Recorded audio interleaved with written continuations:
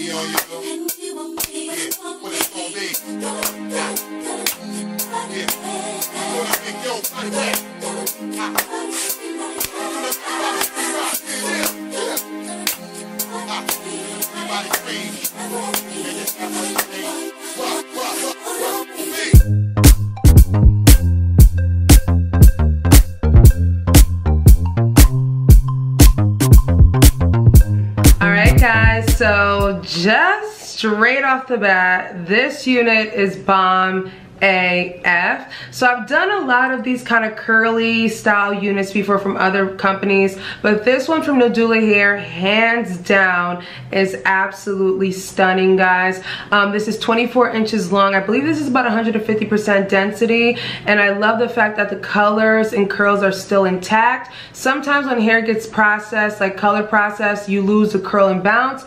Guys, this unit is absolutely gorgeous. Um, I did have it in middle part when I styled it, but I did go ahead and switch it off to a side part. It's not really a side part. I kind of try to do like a little flip over method in the front so that it looks more seamless and natural. So I did go ahead and cut a few layers right here along with a little bit right here. And yes, I did go ahead and customize the hairline, guys, so that I had more of a natural kind of look.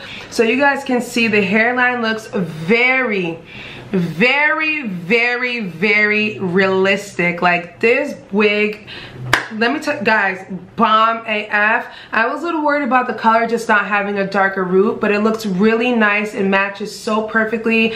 I like the fact that it kind of mix it with highlights and also a chocolate color so therefore it's not like boom in your face. I definitely feel like they did an excellent job. And like i said i'm a chocolate girl so i was super worried about the hairline just melting too much with my skin. But i'm gonna have to give them a round of applause on this one. Nadula hair company really did their thing with this unit guys. It's absolutely stunning. Like look at the blonde curls. Like absolutely gorgeous. I love that this one peaks right where the ear is at. So i found to tuck it behind my ear. It just looks so nice and fresh and you guys see, can see the colors all over guys. Very nice and fluffy. It's 24 inches long guys so it's a nice length. And the fact that it's not a huge density like 200% density I feel that it makes it look more natural. And I feel like the layers that I cut in just look so good framing the face. And like I said I did light layers on this side as well too guys. Nothing too much just to kind of frame me off. So let me know what you guys think. I think that this so far would have to go as my number one uh, colored wig like this. This one hands down is bomb AF guys I did use a Cantu leave-in conditioner as my leave-in. You guys know I always use that product. And I'll leave a link down below. Um, natural air dried this is what it looks like you guys know i love air dried looks so this is definitely gorgeous all right guys so like i was saying before the camera cut me off i'll leave all the information down below per usual but do not forget guys to thumbs up this video. Leave your comments down below. Subscribe and share this video with your friends and family, people. And I will catch you guys in a later one. Bye.